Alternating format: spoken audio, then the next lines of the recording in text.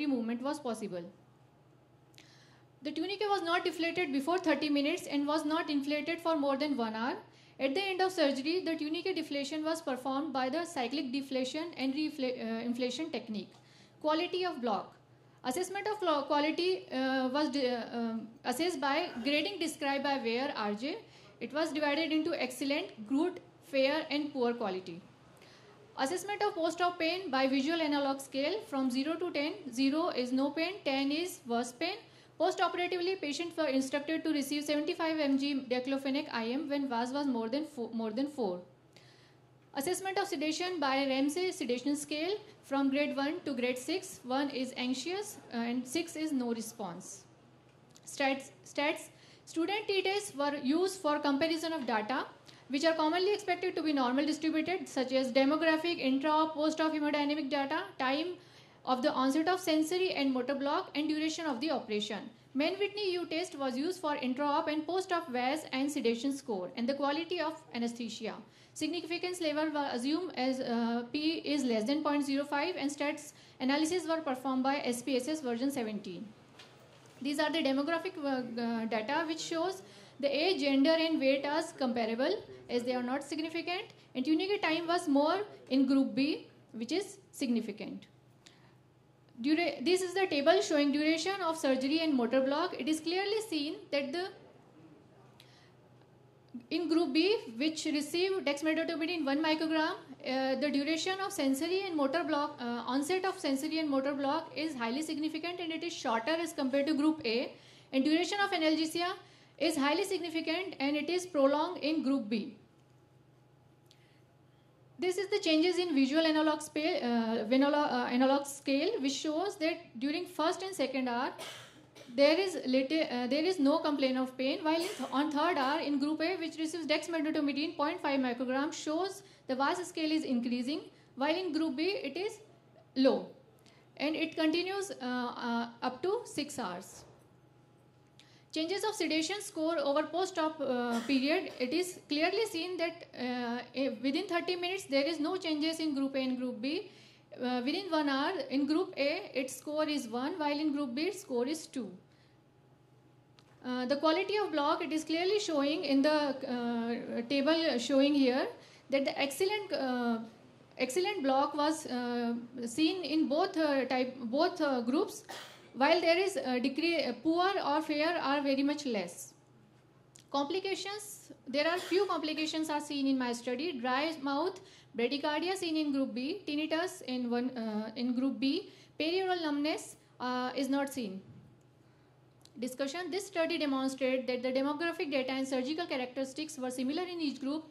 Sensory and motor block onset time is significantly shorter in group with dexmedetomidine 1 microgram Duration of analgesia is significantly higher in 1 microgram, that is group B. Significantly decreased post-op VAS score in group B as compared to group A were found. Jaakola et al. also demonstrated the analgesic efficacy of dexmedetomidine in human tourniquet pain. In their study, a single IV dose of fentanyl and dexmedetomidine was administered and they found that the analgesic effect of tourniquet test with 0.5 microgram dexmedetomidine and more side effects with 1 microgram. Memis et al. also found 0.5 microgram per kg dexmedetomidine to lidocaine for IVRA to improve quality of anesthesia and intra-op, uh, intra-op and post-op analgesia without causing any side effects. Swami et al. also found significant increase in duration of analgesia on addition of dexmedetomidine to bupivacaine 0.25 in regional block. Limitation of my studies, small study group, pediatric population was not involved. Uh, to conclude the topic, the addition of dexmedetomidine of 1 microgram per kg to lignocaine for uh, IVRA shows significantly better improvement in quality of anesthesia and post-op analgesia as compared to 0.5 microgram per kg dose without causing any significant side effect. These are my references. Thank you.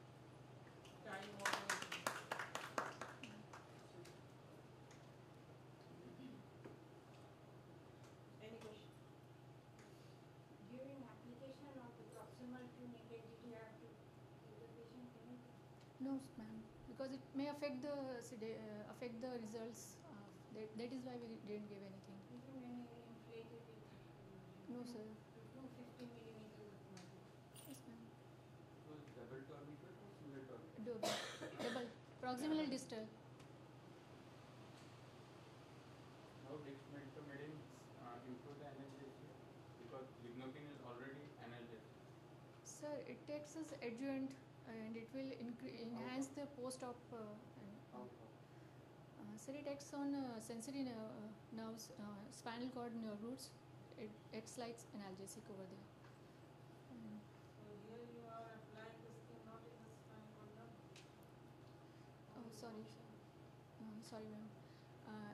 It acts perineurally when we given along with blood. Then the nerves around its blood vessel they will absorb the dexmedetomidine and dexmedetomidine acts over there. It's peripheral nerve roots.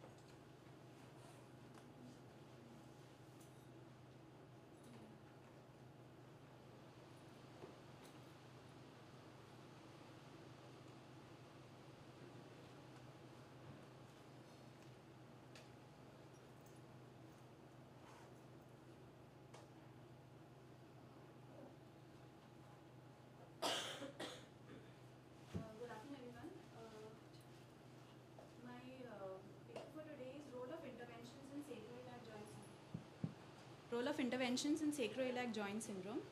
First, a short introduction. Sacroiliac joints are formed by the connection of the sacrum and the right and left iliac bones. It is the largest axial joint in the body with an average surface area of about 17.5 centimeters square. Uh, relatively, there is less motion at this joint, normally less than 4 degrees rotation, and it supports the entire weight of the upper body when erect, uh, and it places a large amount of stress. It is a synovial joint between sacrum and ilium. Articulating surfaces are flat in infants and irregular in adults. Irregularities contribute to the strength of the joint in transmitting weight from the spine to the lower limbs. The uh, ligaments are uh, anterior sacroiliac ligament, interosseous sacroiliac, posterior sacroiliac, sacrotuberous, and sacrospinous. Uh, we are more concerned for the nerve supply. Uh, it receives innervation from the ventral rami of L4 and L5, the superior gluteal nerve, and the dorsal rami of L5, S1, and S2. Uh, SI joint pain, it has various terms SI joint dysfunction, SI joint syndrome, strain, or inflammation. Causes uh, are either degenerative arthritis, pregnancy, any walking disorders, or any, uh, any disorders which cause inflammation of the SI joint. Symptoms is, are typically the patient will complain of gluteal pain, groin pain, low back pain, or leg pain. Unilateral pain is more common than bilateral. Diagnosis, as we all know, pain is the key. The patient will complain of dull, aching, sharp, or stabbing pain. Um, here are some aggravating factors. This is the distribution of the pain. And the uh, pain provocation tests, we have the Fortin's test, we have the distraction test, compression test, Faber's test, which is the most uh, widely used. Uh, it, is a, it is technically challenging to differentiate low back pain due to SI joint from other sources. The protocol is uh, history, physical examination, radiological findings, provocative techniques, and diagnostic blocks. This is imaging in the SI joint syndrome. It's not very clear, but the joint is fully fused, fibrosed. This is scintigraphy in SI joint syndrome. Now, the aim of my study was to assess the role of controlled blocks in patients suffering from SI joint dysfunction. Uh, we, uh, we also checked the total number of diagnostic cum therapeutic blocks that were required. Uh, 52 patients of either sex with chronic low back pain with positive signs or symptoms of SI joint syndrome were included in my study, which was uh, carried out for six months. Uh, the clinical criteria used was positive history, uh, patients who met physical examination criteria, and plus who failed to improve clinically even after four weeks of conservative treatment. We used this as a conservative treatment, ice and rest, uh, NSAIDs, supportive brace to correct the asymmetry, strengthening exercises. And still, if it was severe and resistant, then we went on to the SI joint injections. Exclusion criteria were local infection, deranged coagulation profile, patient refusal, local malignancy, and tumors. After accurate diagnosis was made, uh, controlled SI joint block was given, informed consent was taken, uh, the local infiltration was done, the patients were sedated, mildly sedated, and uh, we, use, we used fluoroscopic guidance. This is the uh, This is the image after we had injected dye. Basically, we uh, place the position, uh, the patient in a prone position, placing a, a pillow under the abdomen, and uh, under fluoroscopic guidance, first we injected the dye. We il- uh, eliminated the joint, and after that, we had given about 2 to 3 ml of 0.5% bupivacaine, and we had used uh, steroid injection. We had used triamcinolone, 40 milligrams. This is the placement of the needle. Observation out of 52 patients, 32 patients had more than 75% pain relief. After two injections given consequently, we had kept about 7 to 10 days difference between two injections. We had, after the first injection, we had told uh, the patient to come back after 7 to 10 days. 18 patients complained of recurrence of pain even after uh, the second injection and hence were referred for radiofrequency denervation at other center. Basically, we don't have uh, radiofrequency at present at our center. Two patients were lost as they didn't return for follow up. The outcome was measured on the basis of reduction of VAS score by more than 50% for at least six months, improvement in quality of life, reduction in use of medications. Um, the result was the, uh, the reduction in VAS score was more than 50% in 61% of my patients who received diagnostic cum therapeutic blocks. 35 patients complain of recurrence of pain even after the second block. So radiofrequency denervation was advised from other center, and 4 patient, 4% patients were lost. Uh, my conclusion is SI joint syndrome is a putative pain generator and can be labeled as a source of low back pain through controlled diagnostic blocks. It is best diagnosed by intraarticular injection of affected SI joint. So basically, from the first uh, the first injection, we found out that that was the best method. However, therapeutic blocks, that is after the second block, the, it was not enough for complete pain relief in all the patients, and thus more advanced modalities like uh, radiofrequency denervation, pulse radiofrequency denervation should be sought for for these patients. Uh, these were my references. Thank you. Uh, ma'am, a local anesthetic. We had, uh, ma'am, 0.5% bupivacaine we had chosen. Uh, ma'am, 3 ml, 3 to 4 ml. Plus, yes, plain bupivacaine. And uh, plus, we had uh, given uh, 40 milligrams triamcinolone steroid. Ma'am, first we gave the local anesthetic. After that, we gave the steroid in, in the same place. Um, ma'am, actually, we called the patient, like I said, we had called the patient after about 7 to 10 days. Most of the patients still complain of, uh, they just said that uh, there was relief for about one or two days, reduction in the VAS score. But then after that, the pain was, was still there. So after the second injection, they had a lot of relief. So separately, first lignocaine, then we gave the steroid. Triamcinolone. Thank you, sir.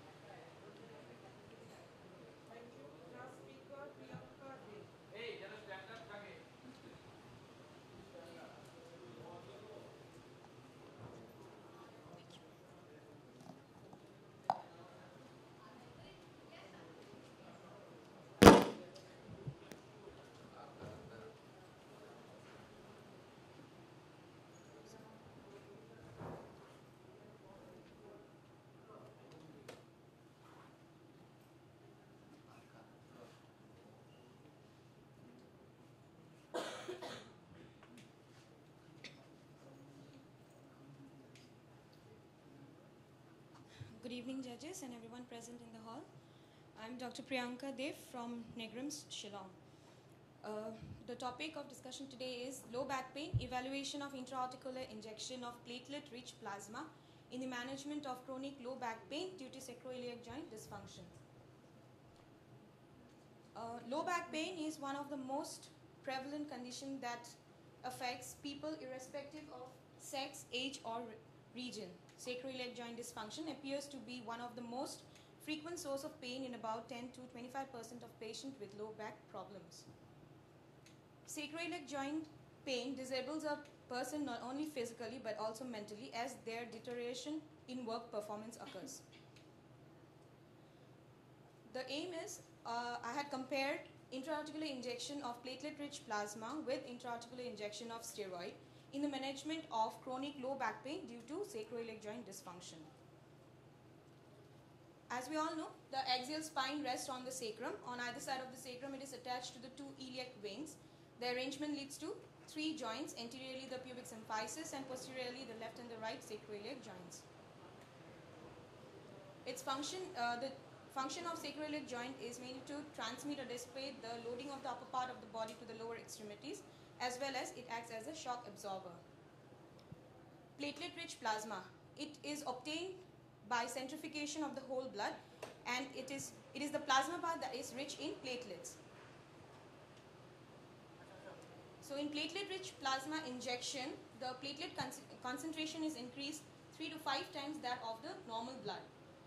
When the platelet concentration is increased in a specific area, it stimulates rapid healing by causing connective tissue repair. So in platelet-rich plasma, the platelet to RBC ratio is essentially reversed, with 94% of the cell matter being platelets and 5% being RBC. Platelets contain alpha and the dense granules. The alpha granules of platelet contain the clotting factor and the growth factors that are responsible for healing process. These granules, when degrade, they release the growth factors which stimulate the inflammatory cascade as well as healing. In platelet-rich plasma injection, we use autologous blood. So, immunogenic reactions or disease transfers are negated. And also the activated growth factors attached to the cell surface, uh, not on the nucleus. So, the chances of tumor formation is also eliminated. The study was a hospital-based, randomized prospective observational study. The inclusion criteria were chronic low back pain with sacroiliac joint dysfunction. Age was more than 18 years and it included both the sexes. These are the list of uh, exclusion criteria. Patients were selected after an array of clinical tests, referred pain pattern, X-ray of the LS spine with bilateral sacroiliac joints, blood tests, and positive response to fluoroscopy guided diagnostic test. The patients with positive diagnostic tests were included in the study and were grouped into two groups. Group A, which received platelet-rich plasma, contained 25 patients, and Group B uh, received steroids, and it was also contained 25 patients.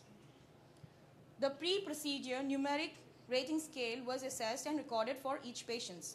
And post-procedure, again the NRS was evaluated at 24 hours, 1 month, 3 months, and 6 months. Tablet paracetamol 10 to 20 mg per kg in three divided doses were given for the initial 7 days and thereafter uh, SOS.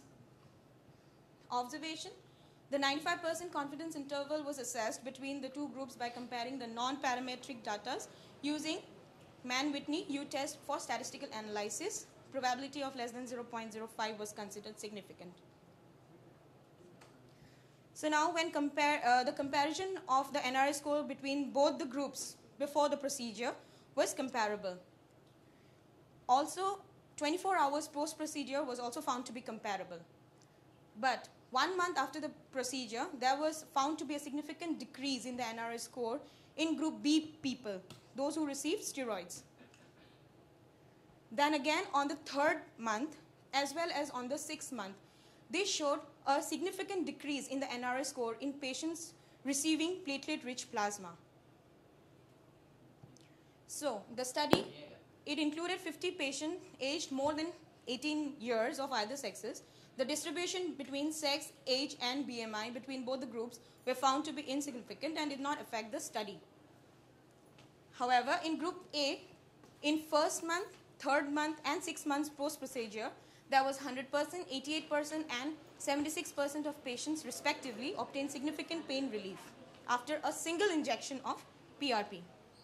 In contrast, people in group B who received intraarticular steroid injection had only a short term pain relief.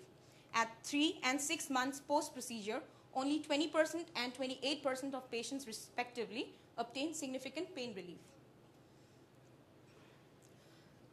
Uh, so to conclude, platelet-rich plasma provides a significant long-term pain relief after a single injection in patients with sacroiliac joint pain. However, more studies are required to prove its efficacy. The limiting factors of this study was there has to be a proper counseling of the patients as the analgesic effect of the platelet-rich plasma would take some time. And motivation was very important for because there were not, not much studies to prove its efficacy. So, in order to reduce its dropouts, we have to motivate the patient to undergo this procedure. These are my references. Thank you.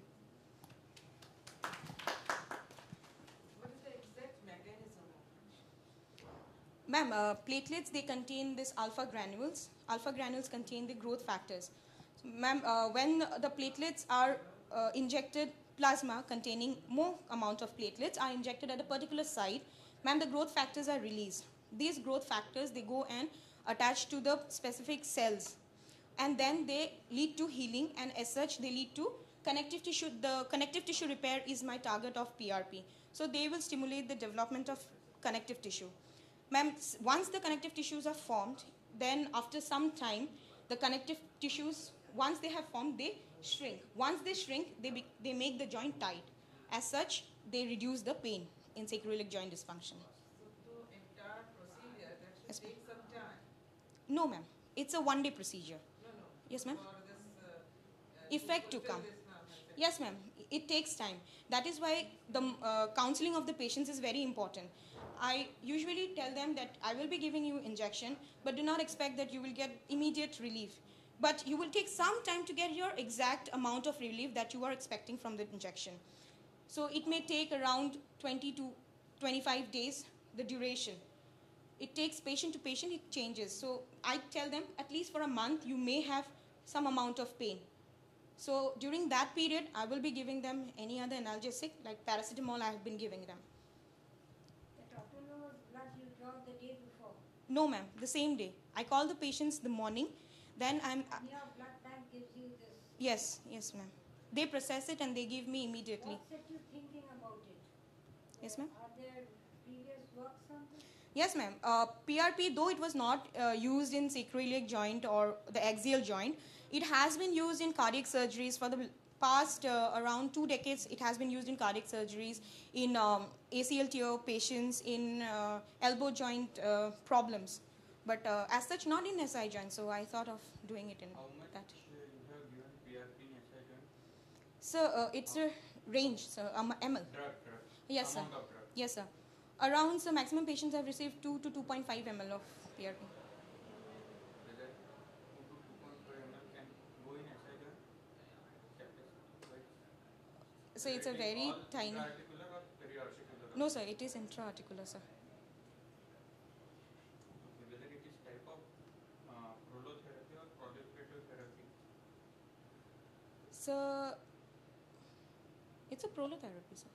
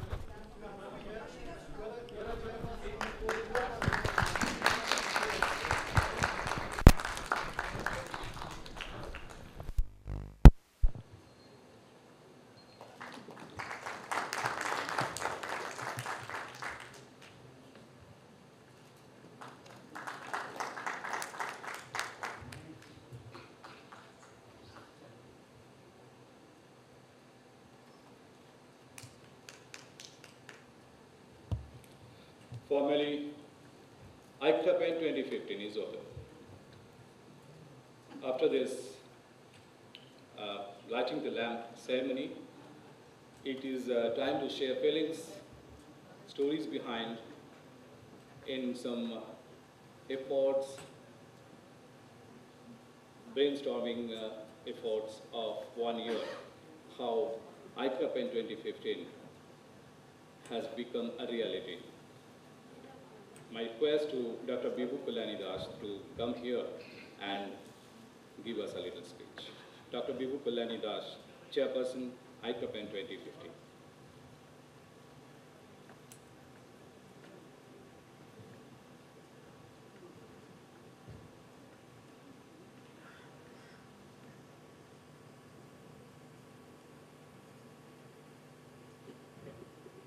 Good evening to all the delegates and dignitaries, our beloved Minister of Health and Minister of uh, uh, Judiciary, and Madam Chandrima Bhattacharya, our respected Sir, Professor Soilim Bhattacharya, and all my friends from the Dr. Gita Joshi, Dr.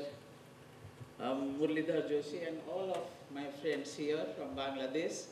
And I welcome all of you on behalf of the organizing committee to this very unique conference. The first one uh, of this is the recent advances in intervention pain management. It is unique because it is hosted by many societies like Bangladesh Society, like Indonesian Society, many of the members, it is not only one unit. So this is unique. Again, it is unique because I would like to say that any organization or any branch of science, medical science, is incomplete if it is not having any teaching, training, and research. In earlier days, when we started pain management, we were only having the pain treatment. But now, it has in involved everything. And this is, in this part of the country, I must congratulate Dr. Gautam Das, who is the pain physician totally. It is, and he has trained many people in, in the country and also neighboring countries. And he is, this intervention pain management is being possible and people are trained by him only. And now we have many people who have uh, qualified in the fellowship and across the country they are training people. So I think I won't take much of your time. You have tested, they have framed a very good academic program and you have tested the yesterday's workshop. We had two workshops, very, um, uh, one, is, one was organized by uh, Dr. Pal here, sitting here in the medical super specialty and another uh, in R. G. Kar Medical College by Deepasri Bhattacharya, the ultrasound guided one. I believe you all enjoyed that. And today's program also, it was very successful and, uh, and the other two days will go like that. And I thank Madam Bhattacharya for all her busy schedule. She has taken the pain to come here and to encourage us.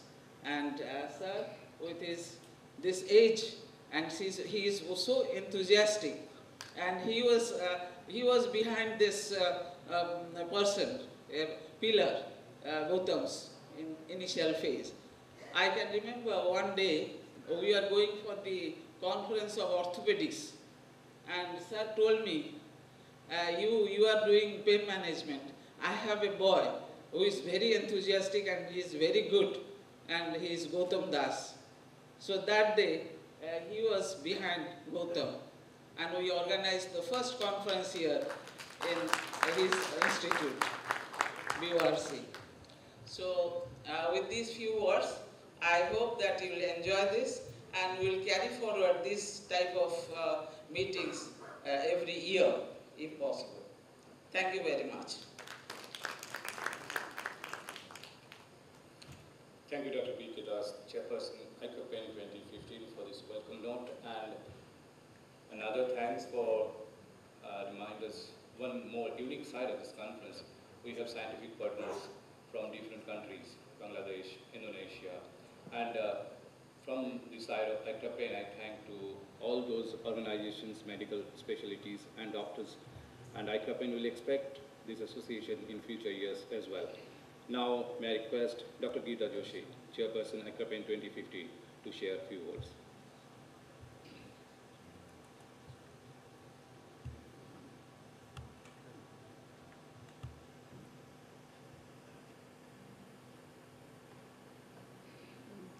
Respected dignitaries on the dais and uh, dignitaries sitting in the audience and our delegates and colleagues. It is a real matter of pleasure indeed to be chairperson of this very unique event. A, a pain conference focused on research in pain. As we know, there are many few areas of, uh, areas of research in pain uh, medicine and Dr. Gautam Das took up this challenge and said that we must come out with basic research in pain. And this is how this uh, conference was conceived and now materialized. Any research needs uh, to be started, uh, at least in initial stage, it requires lots of efforts.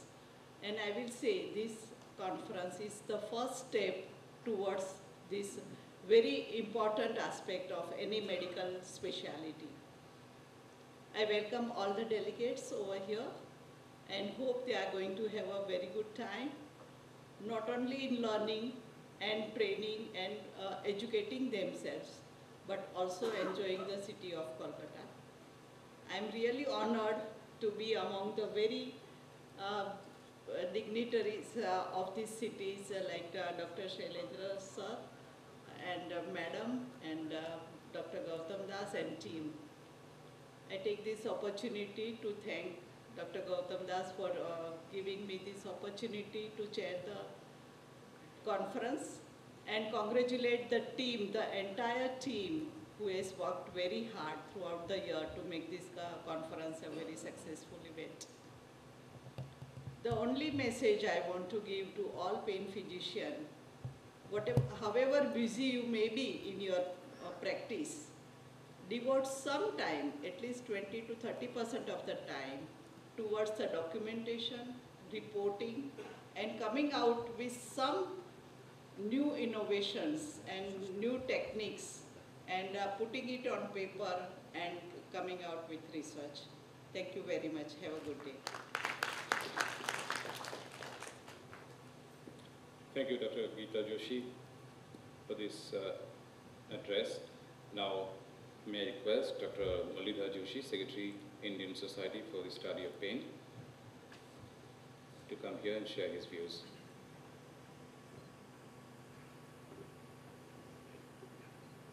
Dignitaries on the dais, of the dais. Good evening, everyone. I bring greetings from Indian Society for Study of Pain. It gives me immense satisfaction to be here, one of my favorite cities, probably not only for the scientific deliberations, but food and friends over here. And uh, it's not the first time that the Calcutta team has done something uh, great as the event today. It's for this was third or fourth event what uh, the, uh, the team at Calcutta led by Gautam and is probably, I should say, the, the syndicate group. They do a fantastic job over every time you do come out with innovative ideas, especially the international conference on recent advances in pain. It seems to be of a different kind of sort compared to conventional conference. We know how much effort has gone in because almost one, one and a half year have been sounding about the program and innovative ideas and the themes. A lot of thought has gone through that one and it would not have been possible unless it was a teamwork. I think everyone has chipped in and probably with each passing event, you seem to be challenging yourself and coming out much better program than the previous one. And that's the only way to improve ourselves constantly. And hats off to the team which is behind the ICRA.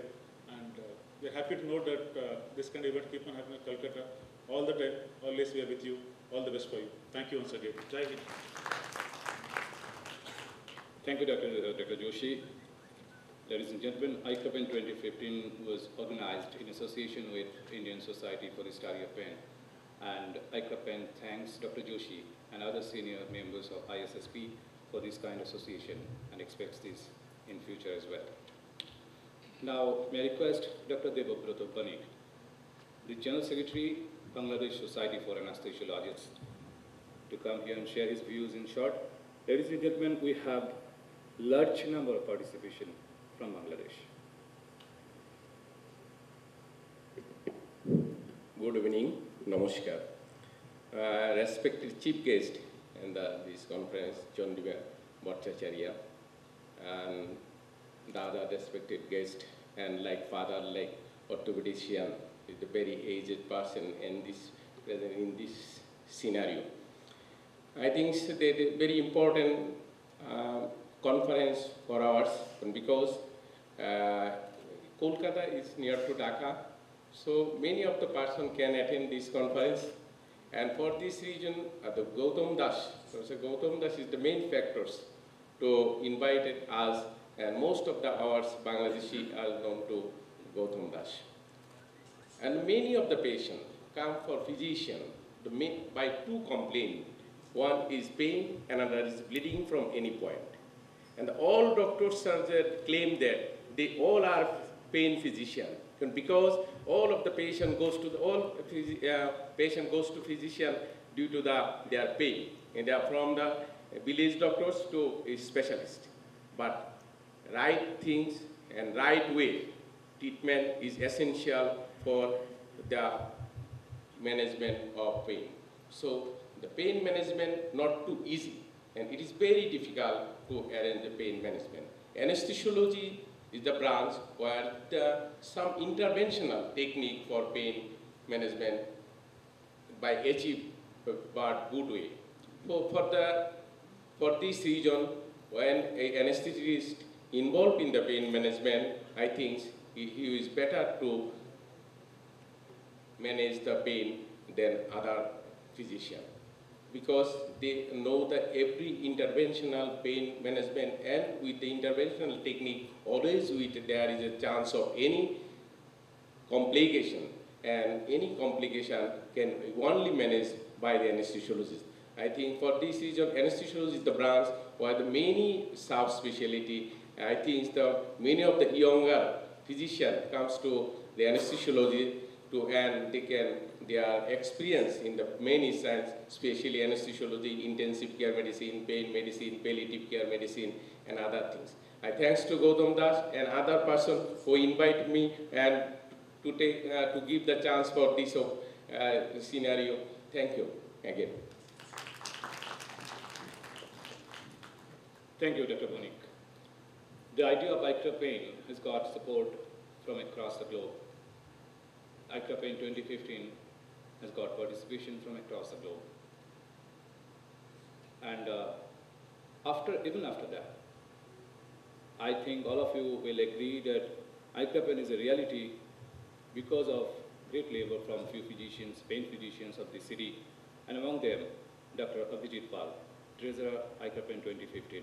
May I request Dr. Pal to share his views.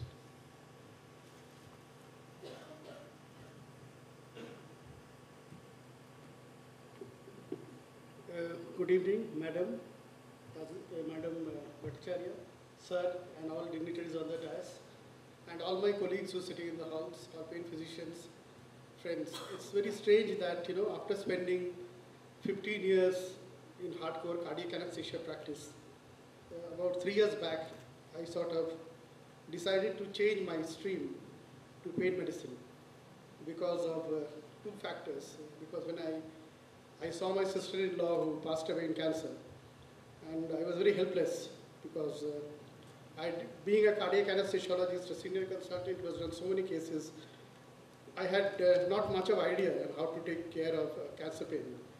So that was my trigger into the journey of pain medicine. And uh, today I'm an integral part of a large group of pain physicians in Calcutta. Very enthusiastic. Uh, Dr. Das has been my teacher. He's with us all the time to guide us. And when he first thought of having an international pain conference in Calcutta around year- one and a half years back, so I felt that uh, I opened my doors from the hospitals to him for all kinds of activity. So we already did two major workshops. This one recently being finished yesterday, and uh, and it's a wonderful journey from there on. But any conference of this magnitude requires uh, man, material, and money. Material is available everywhere. Uh, man and money both are very difficult because nobody gives time. And uh, I would even, I cannot blame myself also, I also can't give much of time. So, uh, whichever, all of us have put in a lot of effort, and many people who were sitting over there and also on the stage, they have given up their practices, their crucial hours, and they have put in a lot of effort to uh, bring this conference and today as a reality what we see today. And uh, getting uh, sponsors to support this event is not an easy thing. A lot of expenses have gone in. So being a treasurer, so a bit of responsibility also fell on me. But always kept on getting a lot of support from Dr. Das. So whenever I would sort of feel a little depressed or sit back, then he would always, you know, push me with enthusiasm. And because of that, we could make this thing uh, happen today. Uh, with that, I welcome all of you to this uh, PAIN Summit. And today is the first day, and we are having many more interesting events in the next following two days. And I wish you all a very enjoyable and happy event, and a very happy stay in Calcutta. Thank you.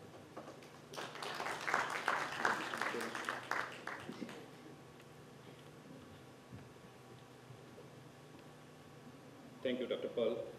We invited you all uh, to witness this program on this dais.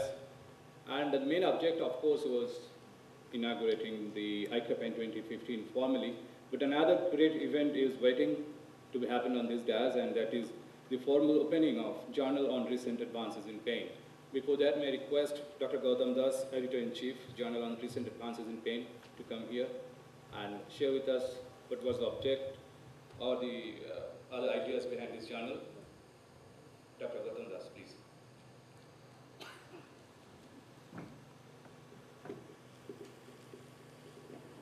Good evening, everybody. So, what Professor Joshi was telling, that uh, we have lot of clinicians, but uh, unfortunately we don't have that much of publications from this region. Maybe there are so many reasons, but one reasons might be the lack of support from different aspect. But another very important aspect is we need to push ourselves and our juniors that if we are spending a little bit of time from our busy practicing schedule, then we can have, at least we can share our experiences, whatever we are doing in our daily clinical practice, we can publish those things. And uh, being an editor of uh, Indian Journal of Pain, when I became the editor of Indian Journal of Pain uh, in 2012, that time I have seen the, the number of uh, the articles which we was receiving was not much. And then over the last few years, we have seen the tremendous increase of the, of the journals and uh, articles, sorry. And uh, we are unable to publish all those articles. We felt that, okay, we should be having similar kind of more journal and uh, so that the youngsters are getting motivated.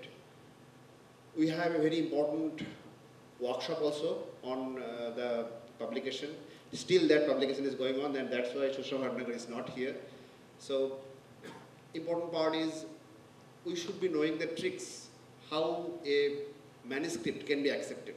Even a very good manuscript cannot be accepted if it is not grammatically correct.